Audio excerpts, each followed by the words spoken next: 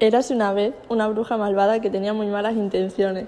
Quería conseguir que los niños tirasen basura en la calle y ensuciaran todo, porque cuanto más basura tirasen, más fuerte y poderosa sería ella. La bruja tenía claros sus objetivos. Con su fuerza y sus poderes se apropiaría del planeta para transformarlo en un lugar oscuro, feo y lleno de basura. La bruja, deseando hacer el mal, poco a poco convirtió los bosques en lugares oscuros sin árboles ni ríos. Las ciudades cada vez eran más feas, los animales desaparecieron del mundo y dejó de haber comida para las personas. El mundo se llenó de basura y la bruja lo convirtió todo en un lugar en el que no se podía vivir. Un día, un pájaro gigante de otro planeta vio que la Tierra estaba contaminada. Este volvió a su planeta para que todos vieran lo que estaba pasando. Allí todo el mundo cuidaba las playas, los bosques o los ríos y respetaba los animales y las personas. Cuando contó su planeta la tragedia, todos los habitantes se reunieron para buscar un plan. Fue difícil, pero finalmente el pájaro consiguió derrotar a la bruja basurera y todo empezó a ser como antes.